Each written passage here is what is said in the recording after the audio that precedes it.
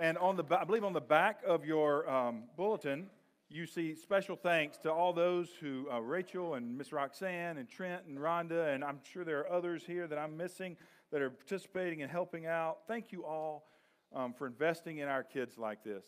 Um, listen, I'm not going to keep you long. Um, they had such a great message, and that message is very simple. And that is, um, in fact, it, Jesus sums it up in Luke 19:10. He says, "For the Son of Man has come to seek and to save the lost." Um, that's the reason Jesus came. Why do we celebrate Christmas? How can we have peace and joy and contentment and, and, and, and all those things to fill our life? It is because He came to seek and to save the lost. I, I want you to just think about this for just a moment, okay?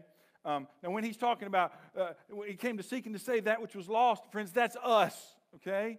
Every single one of us have sinned against that holy God that we sang about today. All right, that sin separates us from Him. And so, as Pastor Brandon said earlier, so that sin separates us from Him. But the good news is, Jesus came to seek and to save that which was lost, that which was separated from God, that which was dying and going to hell. God is not willing that any should perish, but wishes that all should come to repentance. That's what this is about. Now, I want you to think about this. When you think about losing something, how many of you lost something before? Have you lost something before? Um, everybody, all of us have lost something, right? And so sometimes maybe you've got a pen in your pocket, but but oh man, I lost my pen or a pen. You know what? I can find a new one, right? It's it's uh, that's not that important. You know, I may have I may have a breath mint. Now that may be more important than I want to admit, but you know what? If I lose it, um, it's it's not that it's not that important. And so, however, there are things that if you if we lose we're going to turn the house upside down, right? You lose your keys. Where, where are my keys? How many of you here are somebody that, that comes in and you just take your keys out and throw them on and throw them down somewhere? Okay? You just you do that. Nobody wants to admit that. I have a few that are willing to admit that. Um, uh, you lose your cell phone. How many have done this before? How, many of you? Okay, I, I hate to admit that I've actually done this before and so forth. So I'm, I'm talking to my wife on the phone, and all of a sudden I'm like, oh my goodness, where's my phone? Where's my phone? Oh, there it is. I, have done that. Um, your kids. How many of you lost your kids before? Okay. Um, I hate to admit I've done that too. Um, but there, those things are so important. What are you going to do? You're going to turn the house upside down. You're going to search everywhere. I've lost, I've lost my phone. I've lost my keys, whatever. We're turning it upside down. And you go to great lengths. Listen, if something is important enough to you, you search for it. Here's the point I want to make with this. For the Son of Man has come to seek and to save that which was lost.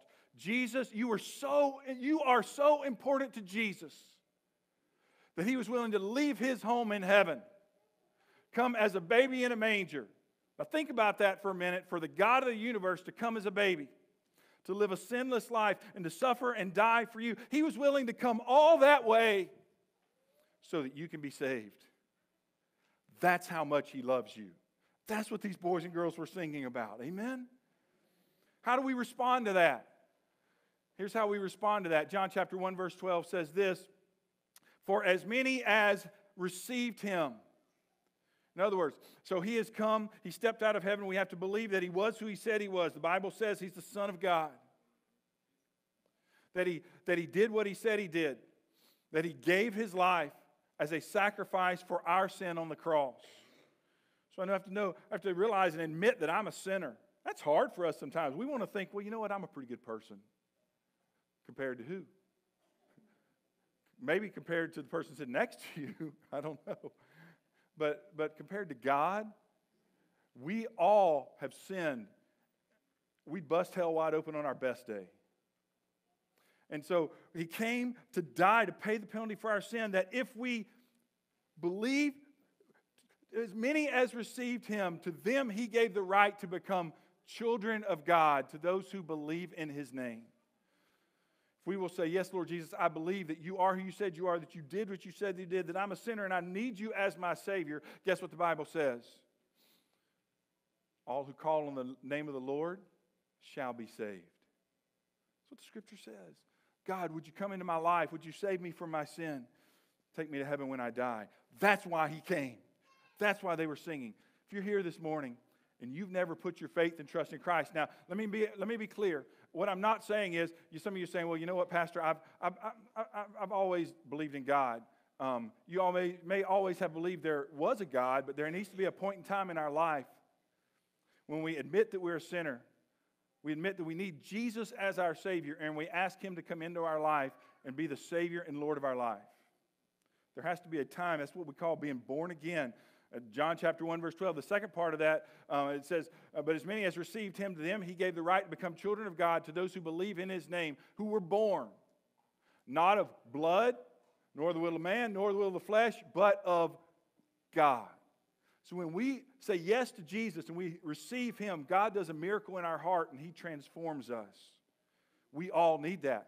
If we want to go to heaven when we die, we need that now for him to give us a heart of uh, flesh instead of a heart of stone. We receive Him, we believe in Him, and we become His children. That's how we become part of the family of God. That's how our name's written in heaven. If you've never done that, I want to invite you today. I'm going to give you an opportunity here in just a moment to receive Jesus Christ as your Savior. But let's say you have. And I know many of you here today have trusted Christ as your Savior. What is this? What's the message of Christmas for us this year? Well, number one, we need to remember what Christ has done for us and never forget that. But here's the second thing is this. If Jesus' mission, can you put John, um, or excuse me, Luke 19, 10 back up on the screen. If Jesus' mission, the reason he came was to seek and to save the lost. If he saved me, then don't you think that ought to be our mission as well? His heart ought to be our heart. As we go into this Christmas season, as we prepare our heart for Christmas, it is, yes, about what Christ has done for you, and you need to receive Jesus as your Savior.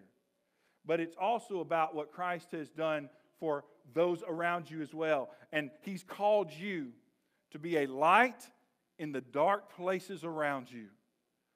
How does God want to use you this Christmas? We've got this week's Thanksgiving, and then we've got roughly a month till Christmas. We are going to be doing some things here at Southside to encourage you to reach out to those around you.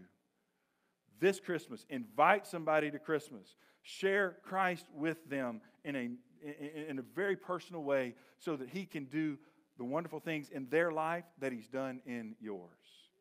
Listen, if Christ gives us joy and peace and love for others, why would we not want to share that? Amen? Amen. So that's my challenge to you today. Want ask Pastor Brandon if he'll come right now. We're going to um, sing a closing song together, a time to respond. And here's what I want to invite you to do um, invite you to sing, but I also want to invite you if maybe you need to just bow your head right where you are. Ask Christ Jesus into your life. Say, Lord Jesus, I believe you are who you said you are. I believe that you did what you said you did for me, that you died on the cross to pay for my sins. And I want to receive you as my Savior today, right now. Friends, it's as easy as praying and asking Him to come in. I want to invite you to do that. I'm going to be here at the front. Pastor Mark's here. We'll be glad to talk with you. Maybe there's somewhere you need for us to pray with you. Um, whatever it is, I want to invite you to respond to the Lord. I know it's maybe a little scary, all these people. Listen, if you want to, right where your seat, want to pray and invite Christ, but here's what I want to encourage you to do. If, if you do that today, don't leave here without letting us know hey, today I accepted Christ as my Savior. You come up and just, just out in the hallway afterwards, just come and say, Pastor, today I received Jesus as my Savior. Today I made a recommitment of my life to the Lord. I realize I can't do without Him in my life. Pastor Brandon, you lead us. Let's stand.